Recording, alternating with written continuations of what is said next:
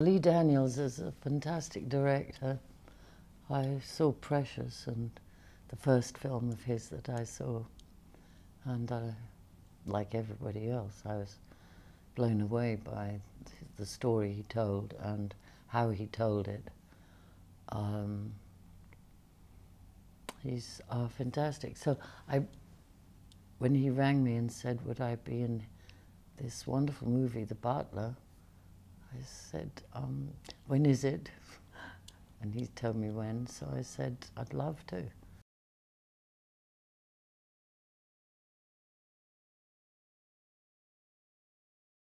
This story, which begins on a cotton plantation, and the conditions are still slavery, really.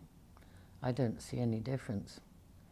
Um, absolutely.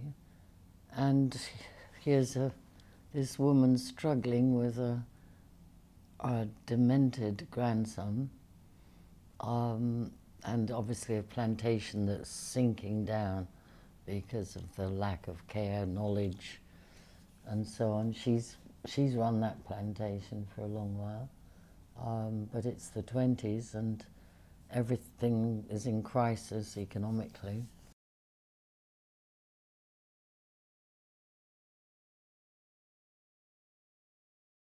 I think it's a story that will, for sure, will cause lots of thinking I know it's usually said, oh, films feel, feel, feel. Well, yes, it's good if people have feelings. It's better still if they think.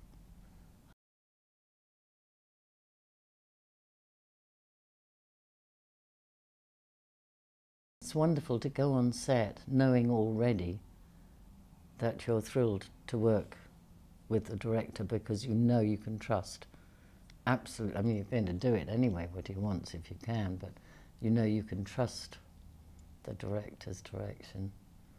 Um, so, although it was a very hot, long day for everybody and for Lee and the, this wonderful crew, wonderful camera operators, terrific extras playing the field workers, and wonderful cast. Um, it was, I loved the day and I feel so grateful to Lee that he asked me to play this lady. I think it's my bit of luck.